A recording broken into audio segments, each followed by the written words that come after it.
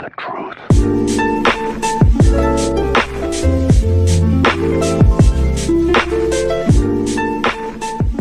What is going on, Cam Fam? Welcome back to the channel. If you guys are new here, please hit that subscribe button right now to join the Cam Fam. We are on the road to 10,000 subscribers, and I would love for you guys to come on the ride with me. If you guys enjoy the content, please hit that thumbs up. It helps the channel a ton. Lets me know what videos to put out in the future because I do plan on pumping out a lot of random content. When I get a lot of feedback from you guys on what videos you guys do and do not like, it's just going to help me and the channel grow a ton. So if you guys could do that for me, that would be awesome, and I would greatly, greatly appreciate it. So thank you for that, as well as hit that notification button. I forgot to mention that.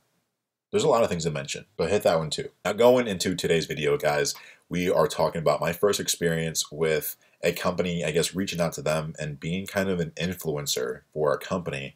And that company's name is Lit Mobile. And I did a video for them, an unboxing for them not too long ago on one of their cases that they sent me. And not gonna lie, it's not a bad case. Like, it's not a bad case whatsoever. So I'm not bashing on the product itself. Um, Lit has made a, a good quality product. However, looking back on the comment section in that video, and, and they were all negative about Lit, and they were about either the customer service that they're not responsive, that people have not gotten their, or received their case in like a couple weeks, people have gotten the wrong cases. I'm gonna throw a couple comments up here for you guys to look at and see, you know, what uh, people are saying about Lit. And it's kind of sad for me to see this because I don't want to misguide you guys and, and, mislead you guys to a, a, bad company or a company that's not going to treat you right. Lit was cool, you know, getting back to me in a timely manner and sending me, you know, a cool case and, and all that good stuff. However, you know, even uh, when I posted it on my Instagram or posted it on YouTube, they didn't, you know, like it, they didn't comment it or anything like that, share it, and you know, that's cool. You know, I wasn't doing it for the clout. For some odd reason, my camera just died on me, so that was awkward.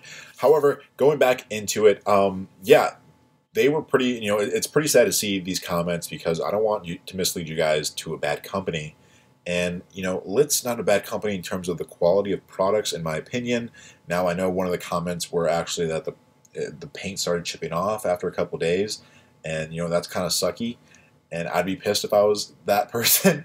but every product's not going to be perfect, and you know, I feel, I just feel bad for that guy that his wasn't perfect. I just felt bad I couldn't do anything for you guys. Like I just felt so bad that my viewers and subscribers were getting treated poorly by a company that I told them to go to. Now, I don't know if they actually bought it with my code or actually even heard of Lit before me. And, you know, they just visited the video just to comment, hey, Lit sucks. And I appreciate that. I appreciate the feedback, regardless if you're a subscriber of mine or just came to comment that it is what it is.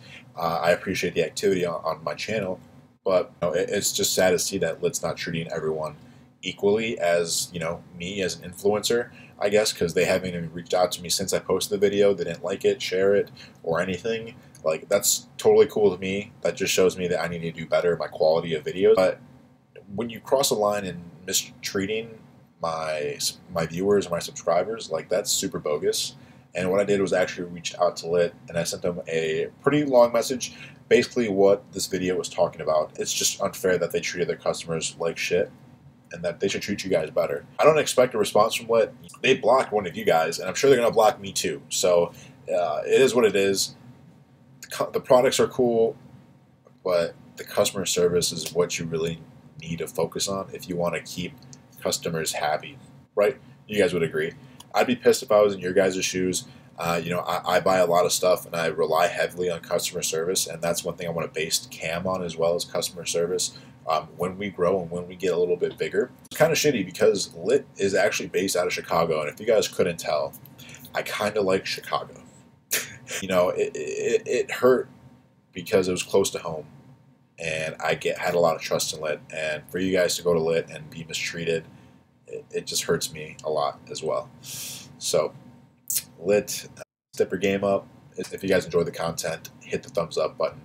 Um, if you guys haven't checked out that video, go check out that video right here. If you guys want to see what the unboxing is like um, and how my video was, go check it out. That'd be cool. It would help me out a ton. I'll check you guys out in the next one. Peace.